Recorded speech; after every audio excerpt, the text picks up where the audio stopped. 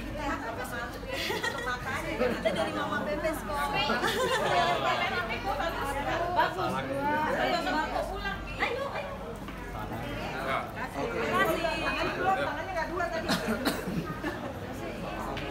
tangannya tangannya udah. Ya, iya, udah. Udah, bismillah. Ah, oke. Wis. Ya, yang pemirsa hari ini acara eh, Prabowo bersama pengusaha Tiongkok.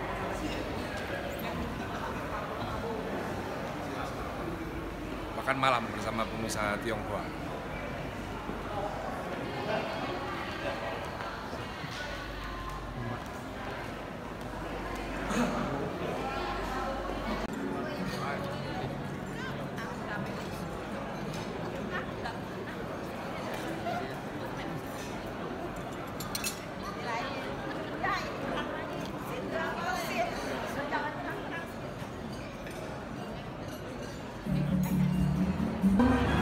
Menantikan kehadiran beliau. Bapak Ibu mungkin bisa dipegang bendera kecilnya ya, dipegang dulu bersama-sama semuanya dipegang benderanya. Sesaat lagi setelah Bapak Prabowo sudah mendekati pintu utama, memasuki ruangan, jangan lupa diangkat benderanya, digoyangkan sama-sama ya Bapak Ibu ya, sebagai sambutan dari kita semua yang hadir pada malam hari ini di sini.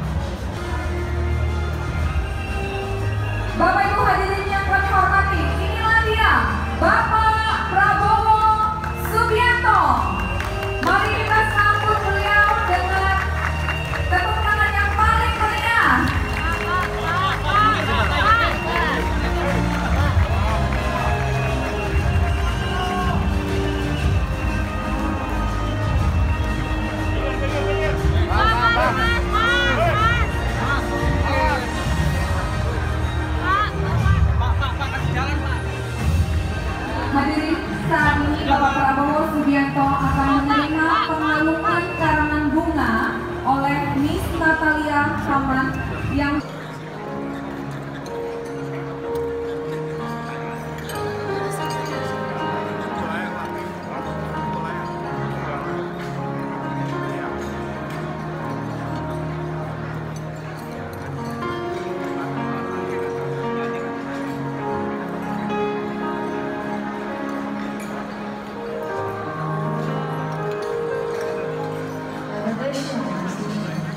Pak, bagaimana pendapat Bapak tentang etnis Tionghoa?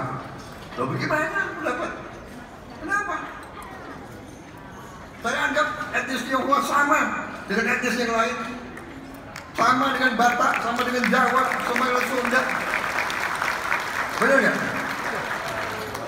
Kalian bagian dari Indonesia sama dengan suku yang lain.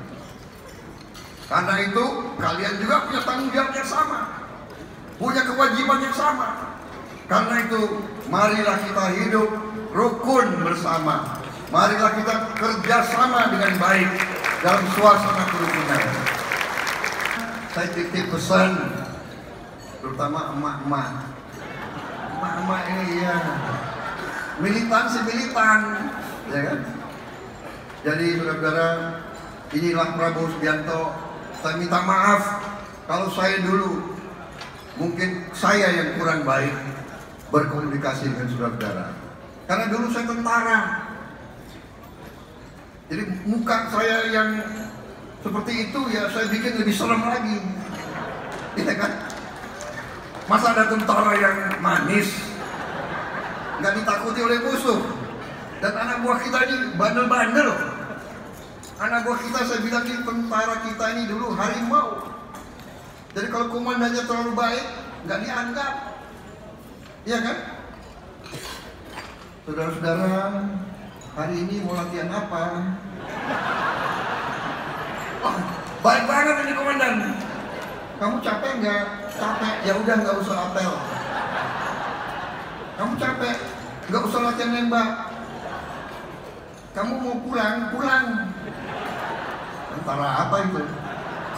Jadi saya dulu, ya sengaja saya bikin muka saya serem. Tahu-tahu kebablasan. Sampai pensiun kalian masih takut sama saya? Enggak. Udah enggak, Prabowo sudah baik sekarang. Selamat malam.